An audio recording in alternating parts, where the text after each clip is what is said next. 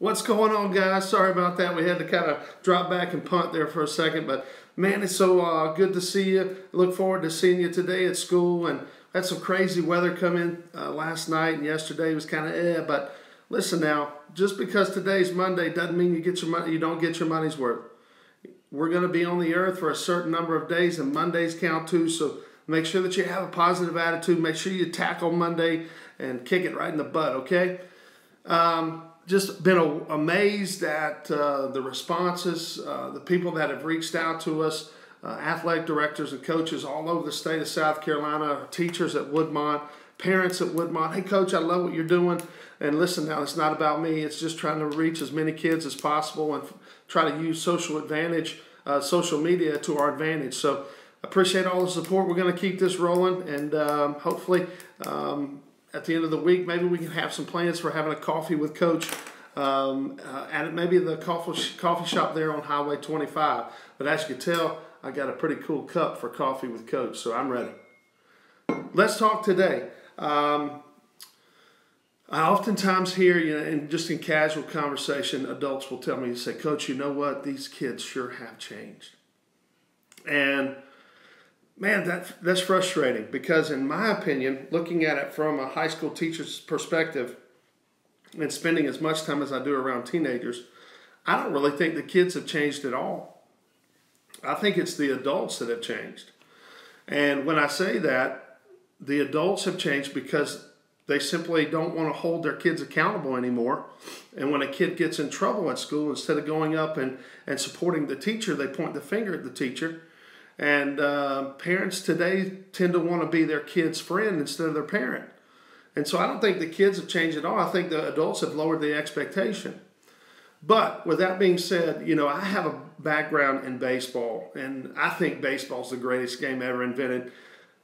But one of the things as you start growing, and you know, you go through progression, you start out in T ball, and then you maybe go to coach's pitch, and then from coach's pitch, maybe you go to the minors, and then you move your way up to the majors, and then maybe you make the JV team, and then you play American Legion, you play varsity baseball. Hopefully, you get to play college baseball, and eventually, the goal, of course, for everybody that ever plays is they want to play in the big leagues. But if you look at baseball, everything kind of changes from the time you play in t-ball to, to the major leagues, think about the distance from home to first. It goes from 60 feet to 90 feet. Think about the distance from the pitcher's mound to the plate. It goes from 46 feet to 60 feet, 6 inches. And think about how the size of the ballparks, as you get older, the ballparks start to get larger, so, so it's age appropriate. But you know, there's one thing that no matter what level you're playing, that never changes, and that's the width of home plate. Home plate is used, as you know, to throw the ball to determine if it's a ball or a strike. But no matter what, from the time you start as a T-baller until you until the big leagues, the plate, the size, and the width of the plate remains the same, and that's 17 inches.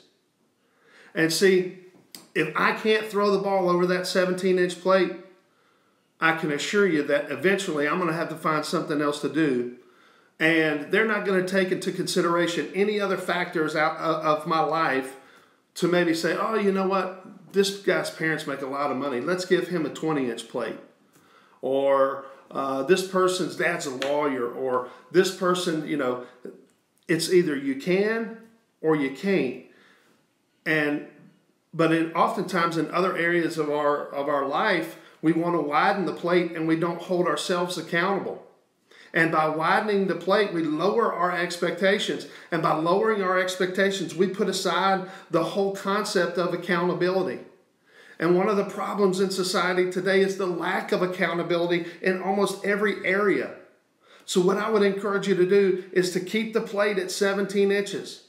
Hold yourself accountable. Make sure that you're making good choices and understanding that good choices result in good consequences. Bad choices are result in bad consequences. It's really that easy. But keep the plate at 17 inches. Imagine if the what, what type of world we would live in if our government kept the plate at 17 inches. Right now, I probably would think most of you guys, the plate that you're carrying around, your plate's 25 inches wide. Let me ask you a question. Did you make your bed today?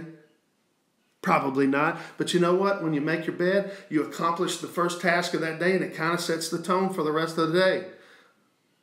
The plate is 17 inches wide for a reason. And you know what? Think about the people who love you enough to hold you accountable. Your teachers hold you accountable. Your coaches hold you accountable. Why do they hold you accountable? Because they love you. And that's the only reason. So I would challenge you today. Number one, Monday, get your money's worth. And number two, find a way to keep the plate at 17 inches wide. Hope that you have an awesome day today. I'll see you guys in just a few minutes. Let's go, Wildcats. The best is yet to come. I promise.